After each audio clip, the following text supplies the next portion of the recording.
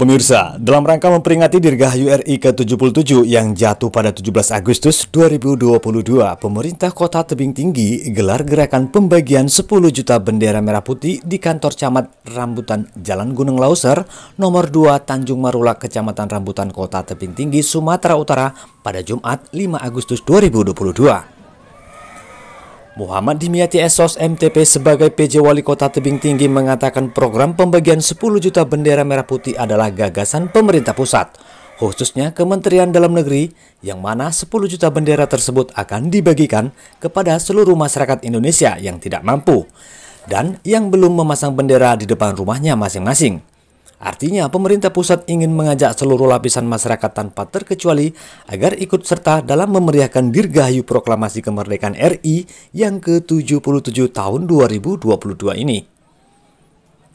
Wali Kota Tebing Tinggi juga mengimbau kepada seluruh lapisan masyarakat khususnya masyarakat Kota Tebing Tinggi tanpa terkecuali agar memasang bendera merah putih di depan rumahnya masing-masing karena ini merupakan momen kita untuk mengingatkan kembali perjuangan para pahlawan kita khususnya proklamator kita yang sudah rela mengorbankan jiwa raganya untuk kemerdekaan Republik Indonesia yang tercinta pungkasnya.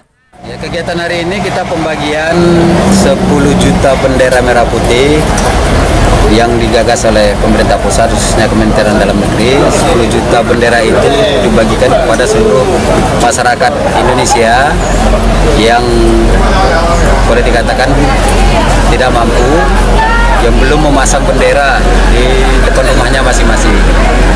Jadi artinya pemerintah pusat itu ingin mengajak seluruh lapisan masyarakat tanpa terkecuali ikut uh, memeriahkan Dirgahayu Proklamasi Kemerdekaan kita yang ke-77 tahun 2022 ini. Begitu Pak. Lalu apa himbauan Bapak kepada warga Tebing Tinggi Pak? Ya kita himbau kepada seluruh masyarakat agar memasang bendera di depan rumahnya masing-masing tanpa terkecuali karena ini momen kita mengingat kembali perjuangan para pahlawan khususnya proklamator kita yang sudah rela berkorban jiwa raga untuk kemerdekaan Republik Indonesia ini. Oke, terima kasih Pak Wali. Terima kasih Pak Kauli. Dari kota tebing tinggi Sumatera Utara, tim liputan Kongli Saragi, Taruna Global News TV mengabarkan.